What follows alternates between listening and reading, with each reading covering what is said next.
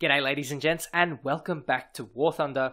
Today, after the promise of 700 likes for a uh, different Hellcat video against the Germans, you guys absolutely blew me away. So I have to thank you for that. I also put a poll to the community and asked if the F5F dash or F6F5N, there we go, confusing names, was an acceptable substitute. And you guys overwhelmingly said yes. So thank you very much to those of you who uh, are happy that I'm going to do the F5 at F6F5N.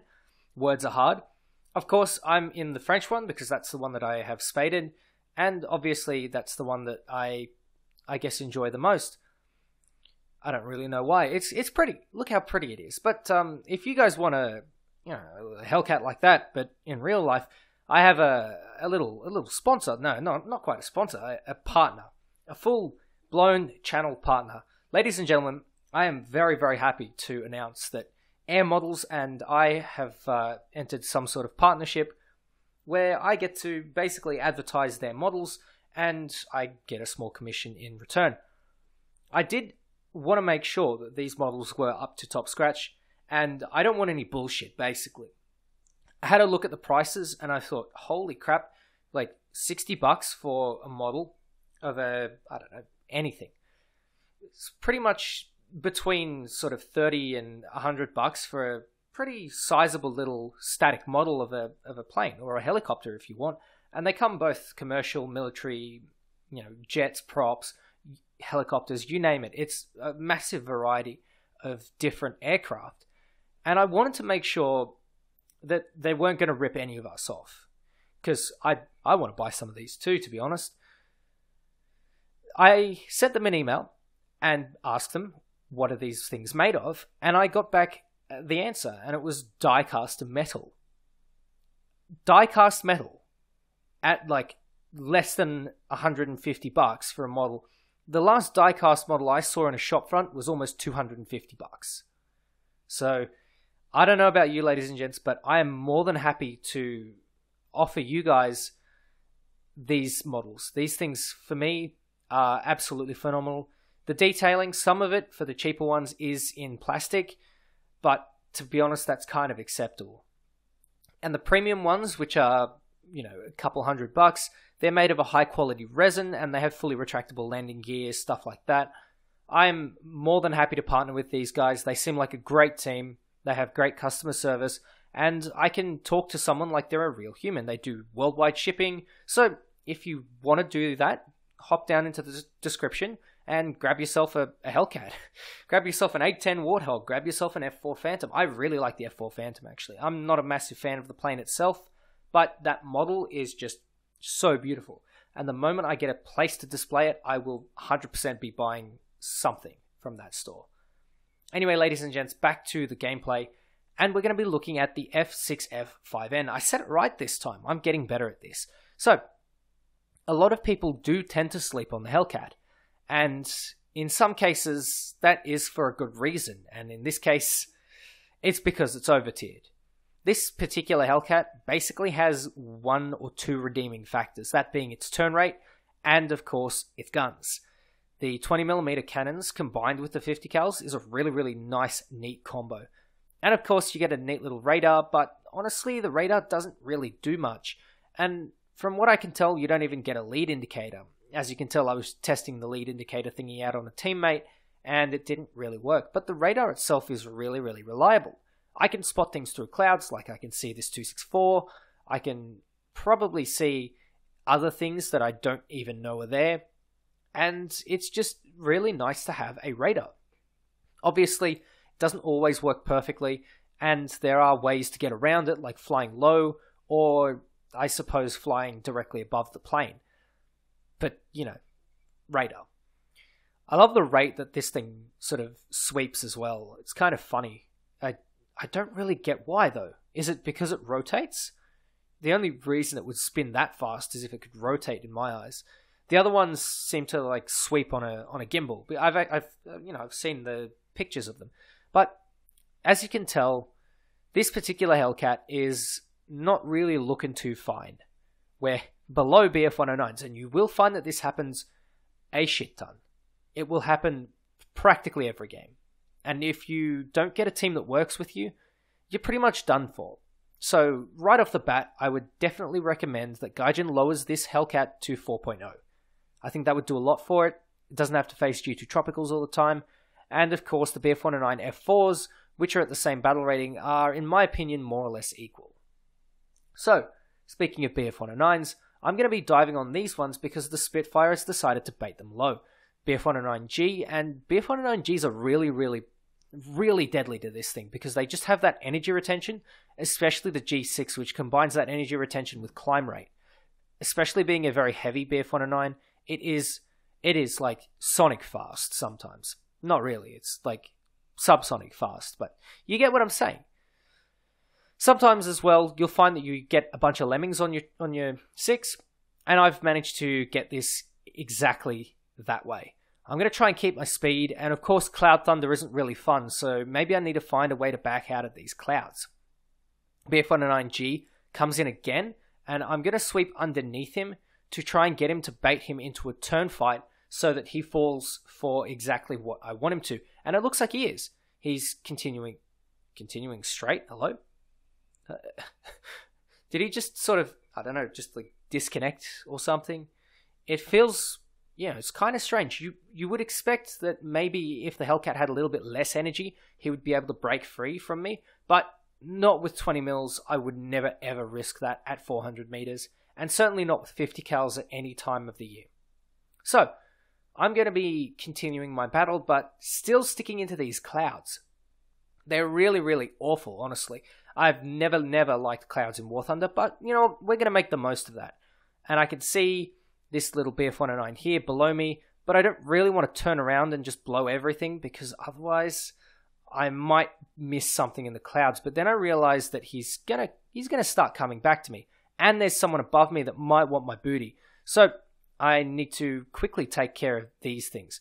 BF109G2 set him on fire as he comes out of the clouds. And I'm starting to look around for that F4 again, but uh, the minimap isn't the minimap isn't helping because there's too many red dots. Now, one of the things that you'll notice with the uh, Hellcat 5N is that it faces 190s. And not only 190s, it faces the D13. Like, come on, bro. what are you what are you doing fighting D13s? Regardless, uh, this thing as well is pretty tough. It turns really well, but not quite as well as the Hellcat. So if you can bait it with some other teammates, you can bait him into turning around, and then you can get onto his six and uh, do things like miss most of your shells. And you know that's a that's a really fine way to spend your ammunition. Almost as fine as almost ramming into a teammate and getting clapped by a BF109F. This uh, 190C doesn't really have many other options. I see that he's set on fire, and I'm just going to leave him. I took a couple of shots, but that was sort of uh, slow reaction times because I'm me. BF109F is coming straight back, and he puts a leak in my boots so I'm going to start to struggle here. I go up into the vertical because I know if I go into the vertical and he follows that I will have teammates to back me up. And he's decided to try and make a last ditch effort to go for the P61C, which doesn't really help him much because that puts him in a bit of a prime position as long as I can get my guns on target to take this guy out. And it's really, really bad aim by me, but holy crap, that was bad. Well, at least he's being distracted by P. Come on, bro. Come on. I would have had a nice 4K and you stole my beans. But, you know, that's okay because at the end of the day, we're going to win this battle. So, realistically, that's all that matters and that's all that should matter. I'm just making jokes, okay? Calm the fuck down. so, what do you do with a leaky Hellcat? Well, head straight back to base because the Hellcat doesn't climb really well, you're not really going to be getting the most out of a dying engine. So as soon as that engine starts turning yellow, you know that you need to be within 5 or 10 kilometers of that base. Otherwise, you're going to fall out of the sky. And it's just about as simple as that. The Hellcat is one of those planes that is, you know, it's it's, it's okay, but at the same time, there are some things that you always wish that uh, it had, like climb rate. Obviously, the Hellcat was designed to fight zeros, which, you know, I mean, I suppose the zeros had climb rate, but the Hellcats had speed. So against the Germans, it does feel really, really weird. It feels different. Personally, it feels a lot nicer against the, the Japanese because you're able to exploit that speed and you all also able to exploit the maneuverability against things like Kai 61s, uh, sometimes A7Ms, and occasionally N1Ks and you know, Kai 84s. Because yes, you will be seeing N1. Will you be seeing N1Ks? I think the N1K1, which is at 5.0, if I'm not mistaken, and I believe the Ki 84 ko is 5.3 as well. I really don't know why it faces them because the Ki 84 ko completely outclasses every Hellcat that I've ever seen. It practically, it, it basically outcompetes all the P51s as well. So I don't really know why, but you know, I think this is an extra reason for this thing to go down to 4.0. I, I do like it. It's kind of fun, but only because it's an underdog, not necessarily because it's really good or because it has something unique to it, but because it is that, you know, turn fighter, if you will. It it is that sort of American prop with, that can't retain energy nearly as well as the other ones, and of course nearly as well as the uh, as the German props. So we're going to hop into another battle just because Normandy again. Of course, le, le Français on le Normandie. I I hope I pronounced that half okay and didn't butcher that too much. I'm sorry, French. I know it's funny. My French viewers are really chill and they, they absolutely go nuts when I'm when I when I can pronounce like itondar really well. But the moment I butcher something in Swedish, my god, you, the meatball army is all over me and I can't do anything about it.